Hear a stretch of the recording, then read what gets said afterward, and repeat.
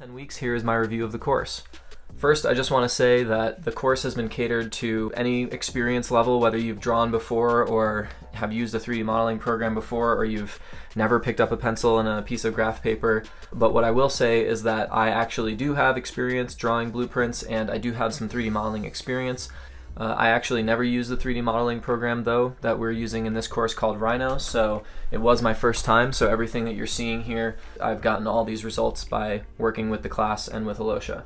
So obviously, first of all, let's talk about some of the things that I really liked about the course. You know, sometimes you sign up for an online course and it has a really great uh, marketing campaign, but then it doesn't really deliver in terms of the content. What I have to say about this is that it's probably the other way around. I think that the content itself was actually above and beyond, and I am tilting my hat to Alosha for the amount of work that I know it must have taken to produce this course. I think he's done a great job of making not only the pre-recorded lessons so that everyone could follow at their own pace, but also then to have every weekend a live session is been really helpful and fun and just enjoyable, but also uh, being in person with the class, the group, and with the teacher that is just so nice um, to be able to ask any of the questions that you might have had lingering or hear what everyone else is going through. Sit down with a group of like minded people, and you never know who you're going to meet. It always has the potential to linking you or connecting you with someone that you didn't expect to be meeting. So I would say that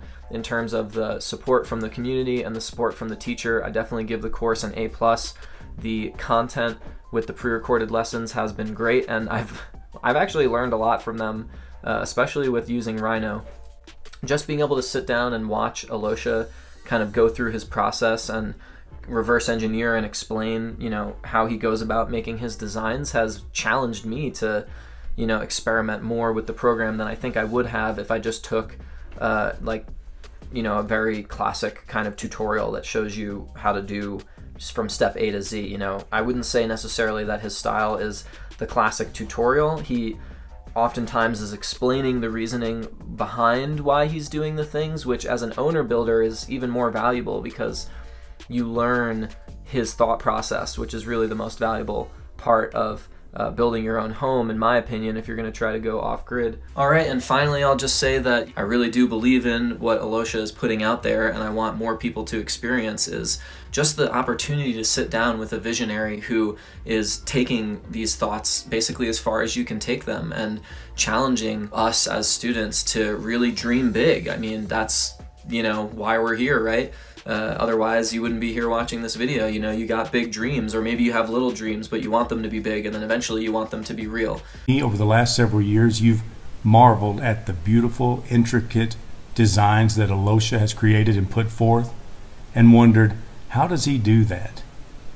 And what would I need to learn to be able to do that with my own ideas? So when he announced that he was conducting a 2D and 3D drawing and design course, I got very excited.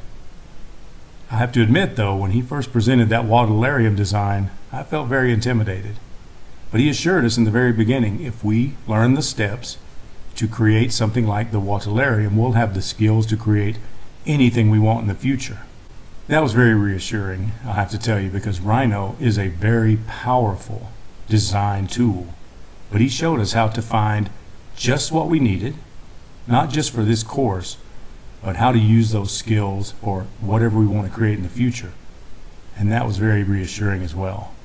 I had a basic understanding of biodesign just from Alosha's existing online courses, but he went into additional detail in this course on biogeometry, sacred geometry, and how that fits into the design of a home that's not only beautiful, but supportive of the people who live in it. I had a great time in this course, got to connect even more with some very amazing people, had undeniable access to any question that I had, getting it answered by Alosha and other members of the team.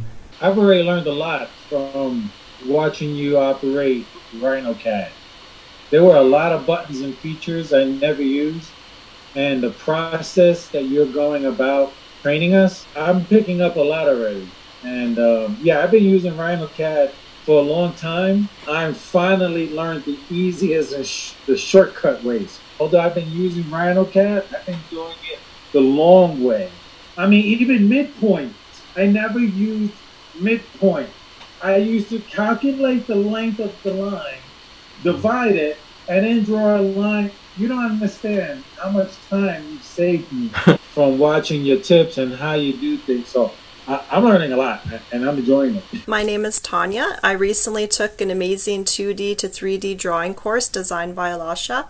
Before taking it, I had no experience drawing designs on paper or a computer program. The recorded lessons by Alasha are great. They're easy to follow, and he goes step by step and explains how and why he's doing things.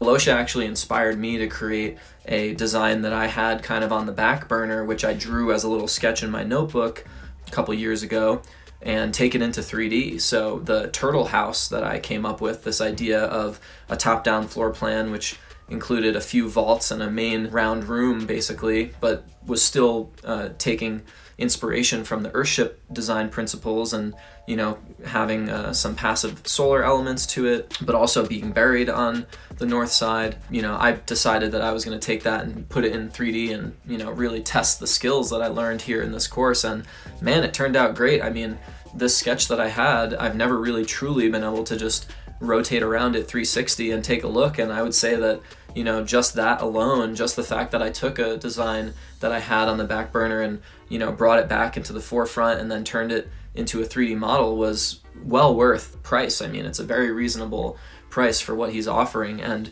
you know, if you can end up taking that sketch that you have in your head and turn it into a 3D model and then potentially turn it into the blueprints to build your own home with this course at this price, it's just a no brainer. I got to say that um, it's really just been a joy to watch you pull this class together and very interesting. And it's really just a joy to to watch this process. And I'm I'm excited to you know continue forward with this Waterlarium design. That it's a very interesting design. You know, just beyond the uh, the use of the software in, in getting into the actual design, I I think that there are several more classes that you know folks that attended this class might want to consider taking from you in the future about the design itself. I find it fascinating, and it, as you know, it ties in with a lot of my past designs using the uh, passive annual heat storage method. You know, we're really on the some type of cutting edge here of, of building design. So I find that very exciting. And he talks about and shows his mistakes as well, which is a great learning tool and it really helps clear things up. I love how he brings his designs to life and you can see and feel the passion in which he does his work. It's beautiful. It is a very informative, inspiring course, and I am so happy that I came across Bioveda Academy. I am definitely signing up for another course. Even with different time zones, he made sure that we could get help that was convenient for us.